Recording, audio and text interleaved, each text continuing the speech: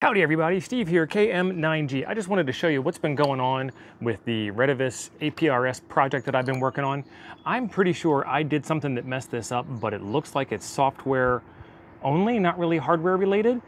Let me, uh, let me rearrange the camera and I will show you what I'm talking about. So I just powered it up by plugging it into my power pole distribution center here. You can hear that there's some signal coming out, but these knobs don't work. These buttons don't work. This, this power button doesn't work. The PTT button doesn't work. If I push up, down, you can hear that it's making the, the electrical connection on the up button. And I'm wondering if this is some kind of lockout. So this is the, the AB button on the microphone. That works just fine. I can push keys on the on the keypad here. I'm pushing one, two, three, four, five, six, seven, eight, nine, zero, star, but no PTT. And I'm thinking this is a software thing. So here's why I think it's a software thing. I'm gonna unplug the power, and that's gonna disconnect it. Now this is where it gets a little bit interesting. I wanna hold down the function and the P4 button while it powers up, but I've only got two hands, so we gotta do this quick.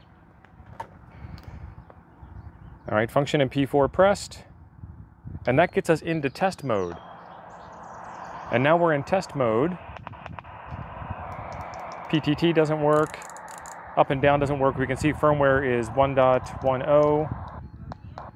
So like the AB button works here,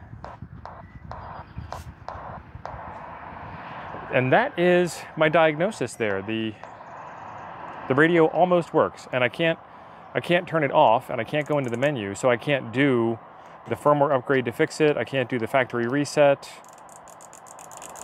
So there we have it. That's the end of that one. This radio is going back to Retevis to be repaired. All right, so like I showed you, I think it's software related. I'm not 100% sure what it is. I did try the lockout feature, but in order to do the lockout, the, the VFO lock feature, you have to be able to push buttons and I can't push the buttons to put it into lock or to take it out of lock. So I'm out of luck. What has taken me so long to get to this point is Retevis has a website that has a problem in Firefox. So if you are a Retevis customer and you need support on a Retevis radio, you're going to need to use Chrome. There is a form to email that doesn't seem to work. There is a link in the middle of the page that doesn't seem to work. At the very bottom, I want to say bottom right, there is a support you know, little chat widget where you can talk to user support. That doesn't even show up in Firefox. You got to go into Chrome. Firefox is, I mean, there's only three big browsers and they're all free. And it's pretty widely known that Firefox and now Edge, Edge is Chrome. So if you can work in Chrome, you can probably work in Edge, no problems there.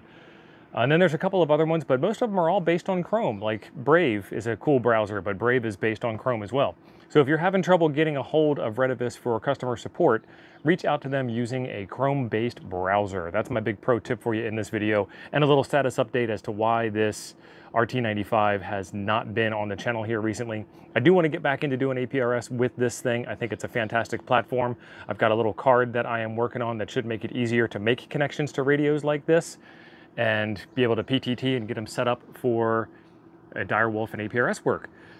I, have got plans for this thing. I just can't, I can't make it happen. So I'm boxing this thing up and it's getting out on the road today. That's all I had for you today. There's a video right over here I think you'll enjoy next. Thanks for being awesome. I'll see you over there.